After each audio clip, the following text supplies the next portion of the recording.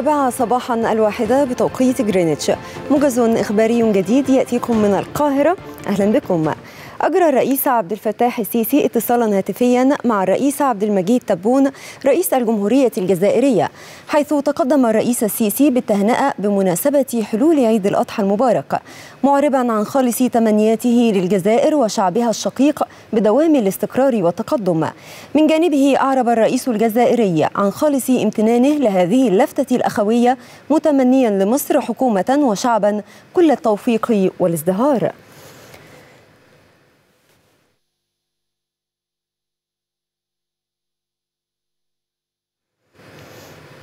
كما أجرى الرئيس عبد الفتاح السيسي اتصالا هاتفيا مع الرئيس التونسي قيس سعيد لتهنئته بمناسبة حلول عيد الأضحى المبارك داعيا الله العلي القدير أن يعيد هذه المناسبة المباركة على تونس والأمتين العربية والإسلامية باليمن والبركات وأن يديم على الشعب التونسي نعمة الأمن والاستقرار. وقد أعرب الرئيس التونسي عن خالص شكره وامتنانه للرئيس السيسي على هذه اللفتة الأخوية متمنيا لمصر وشعبها دوام الأمن والاستقرار وكل التقدم والازدهار.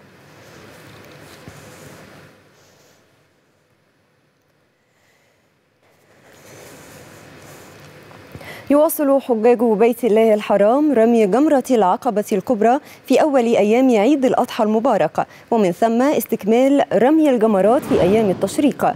كان الحجاج قد باتوا ليلتهم في مشعر مزدلفة بعد أن أفاضوا من عرفات حيث أدوا الركن الأعظم من فريضة الحج في مشهد إيماني مفعم بالخشوع والسكينة.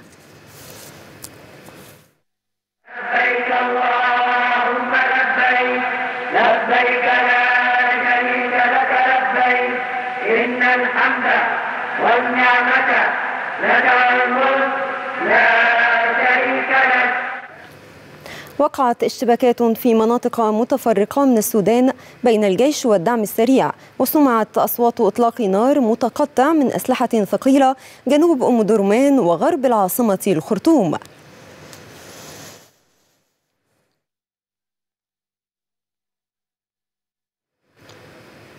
أعرب مجلس الأمن الدولي عن حزنه لسقوط قتلى مدنيين في الضفة الغربية المحتلة داعيا كل الأطراف إلى تجنب اتخاذ إجراءات أحادية يمكن أن تؤجج التوترات. هذا وأعرب المجلس في بيان صدر بإجماع أعضائه الخمسة عشر عن حزنه لمقتل مدنيين.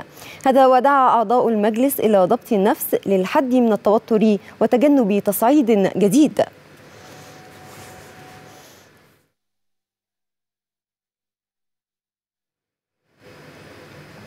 أفادت وكالة الأنباء الفرنسية باندلاع اشتباكات وأعمال شغب بين قوات الأمن ومحتجين على مقتل شاب على يد أحد أفراد الشرطة في ضاحية غرب العاصمة باريس.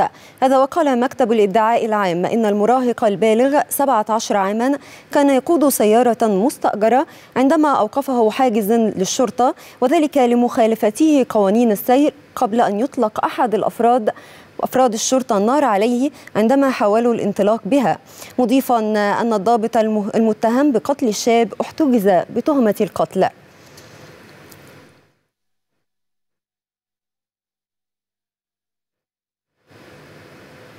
أكد الأمين العام لحلف شمال الأطلسي يانس سولتنبرغ أن التكتل جاهز للدفاع عن نفسه بوجه أي تهديد من جانب روسيا أو بيلاروسيا. وذلك بعد استقبال مينسك قائد مجموعة فاغنر العسكرية. وقال ستولتنبرغ إن الحلف وجه رسالة واضحة إلى موسكو ومينسك خلاصتها أن التكتل موجود لحماية كل حليف وكل شبر من أراضيه.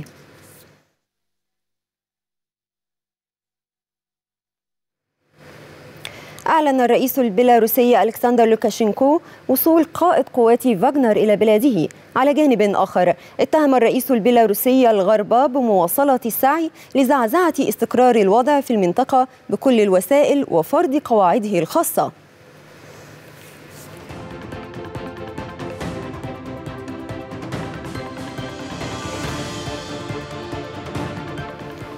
مشاهدينا بهذا نكون قد وصلنا لختام الموجز. ولمزيد من الأخبار يمكنكم دوما تحميل تطبيق إكسترا نيوز من خلال App Store أو Google Play أو من خلال ال QR code الظاهر على الشاشة. شكرا على طيب المتابعة. تقبلوا تحياتي. إسراء العقاد. إلى اللقاء.